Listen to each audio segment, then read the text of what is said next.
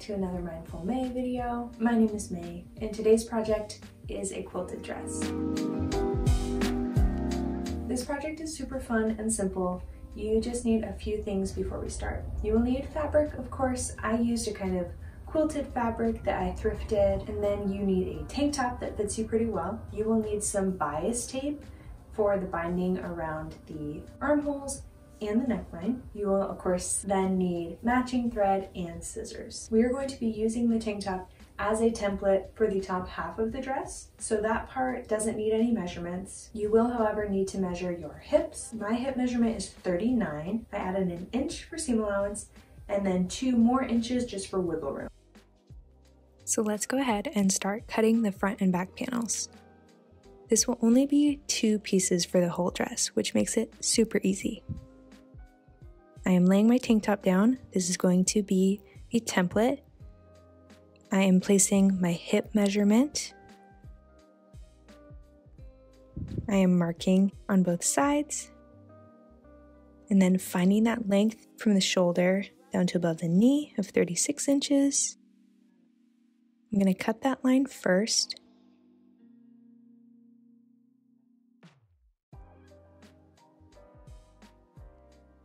cut up to the mark that I made for my hip measurement, then all the way up, leaving a bit of seam allowance about an inch around the tank top.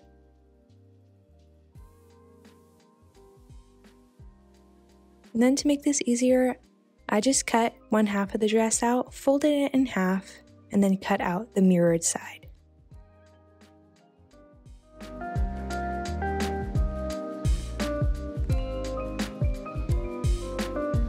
Here is my first panel.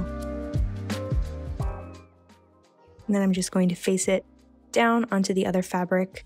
This is just so I can see where I'm cutting a little bit better so the fabrics aren't both facing up at me. You will cut out the exact same piece here.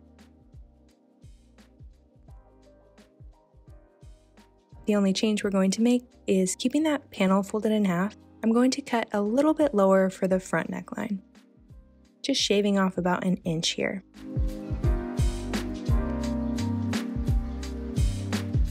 If you want pockets, this is where you'll cut them out, in whatever size you'd like.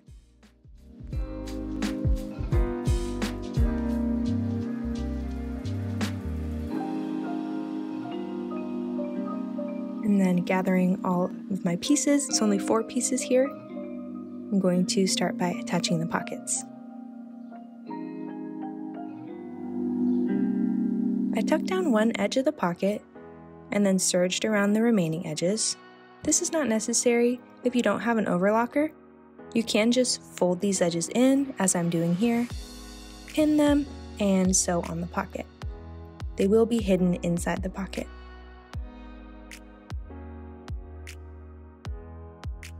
I have pinned in all the corners of where I want my pocket to land, and this is going to help me hopefully sew it on straight.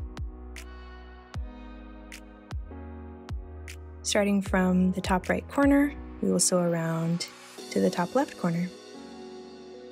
I'm not using any special technique here, just starting a little bit above the pocket, stabilizing the stitch with forward and back, going all the way around, and then finishing it, stabilizing with a forward and back stitch.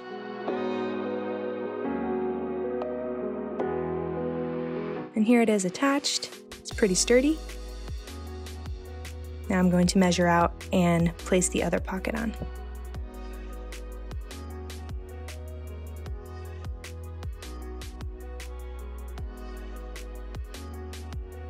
And now we are going to attach the side seams.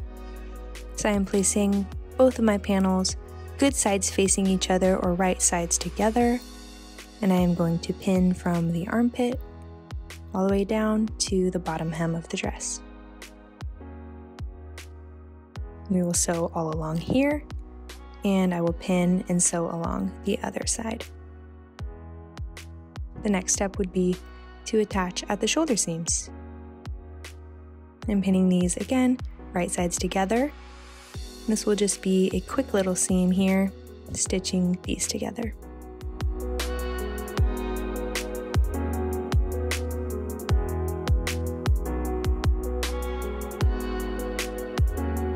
Next step is to bind the arm and the neck holes. I chose this brown because it's something that I was able to find at a thrift store. And I'm going to face the right side of the binding to the right side of the dress, starting with a quarter of an inch fold on the binding. This will give us a really clean look when we're done. I'm going to pin this all the way around the armhole.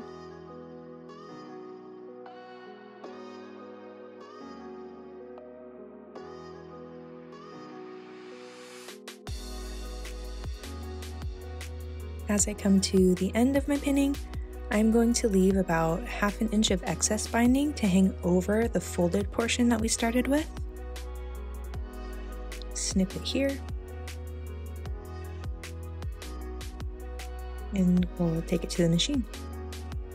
So I'm going to start with my needle right over that fold that we created while pinning.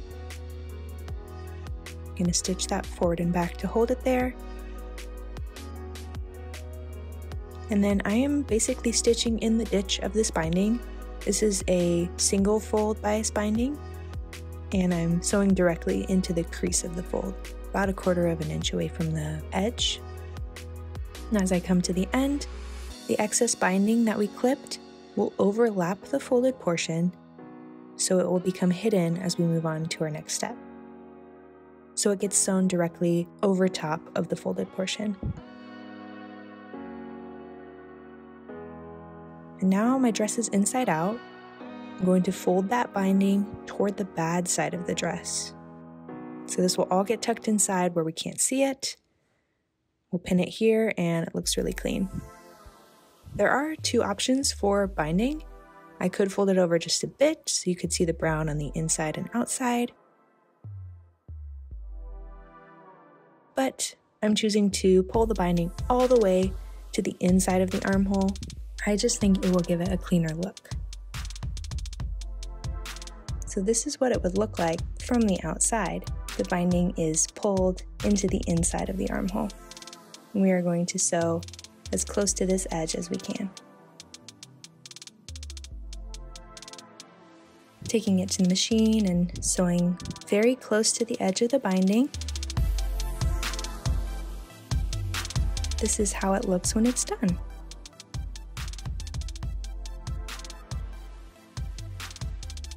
We've got one side done. I'm going to start on the other armhole and the neckline. Starting the neckline, starting at the back center, and starting again with that step one. I'm going to attach it right sides facing all the way around the neckline and then again I will pull the binding all the way to the inside and stitch it in place there.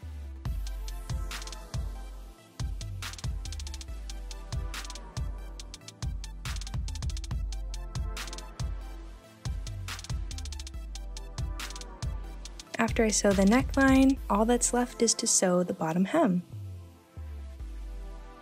Again, there are two options.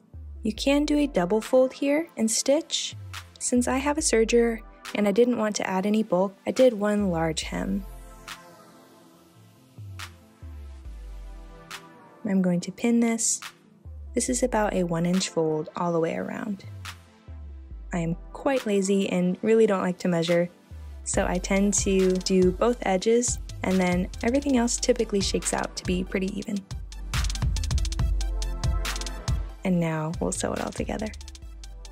Sewing the hem in place, I'm stitching about a quarter inch away from the top of my hem all the way around.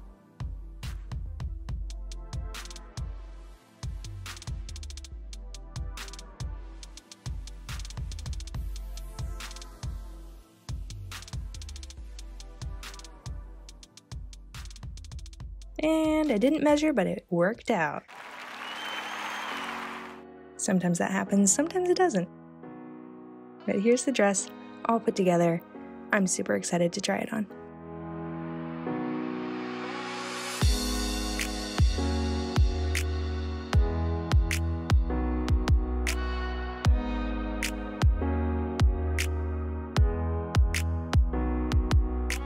Thanks as always for sewing with me. If you like this video, give it a thumbs up and then subscribe to my channel for some more videos. See you next time.